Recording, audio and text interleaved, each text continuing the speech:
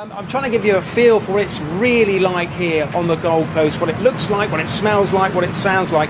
And the tram is an essential part of these games. It runs right through the heart of the Gold Coast and it takes the volunteers, the spectators, and sometimes even the athletes to where they want to get to. It's also part of the legacy of these games, if you like, because although this wasn't built for the games, it's been extended and improved for it. And it is clean. My goodness me, you could eat your dinner off the floor of it. I've never seen a trap. Look at that, you see? You can eat off this. I've never seen anything so clean and wonderful.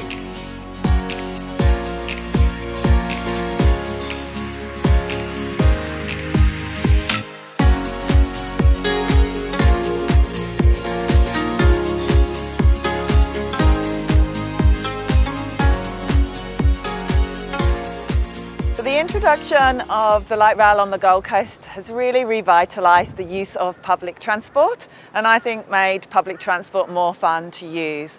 So within a year of the introduction of the light rail we have seen the use of public transport increase by 25% and that's not just on the light rail, that is across all public transport.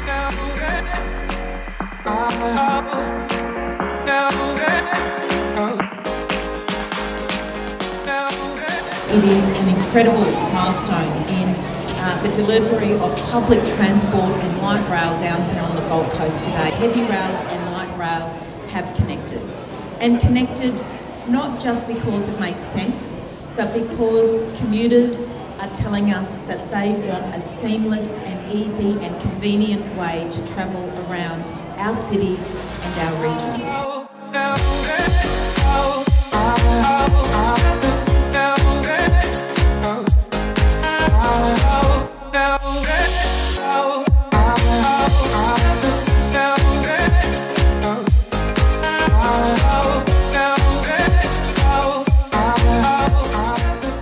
Our tram exits Surfers Paradise and enters into the Broadbeach area, we've got a new innovative sign which mixes advertising in with the intelligence of when the tram is coming. So people are seeing advertising as they're driving along at that road intersection until the tram comes along and then the board will change and alert people that a tram is approaching and therefore the signals are going to change.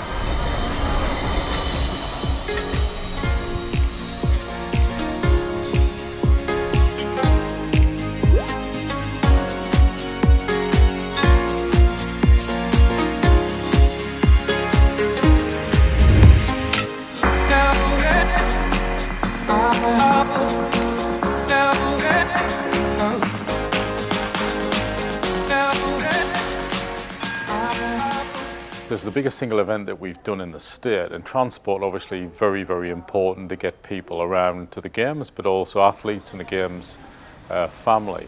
Enjoy the rest of your night guys. Light rail was a star performer during the games. Uh, we were seeing more than 100,000 spectators using light rail each day of the games, more than a million over the Commonwealth Games period.